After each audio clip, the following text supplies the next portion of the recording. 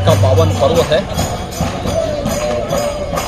मैं इस अवसर पर पूरे प्रदेशवासियों को होली की हार्दिक बधाई देता हूँ।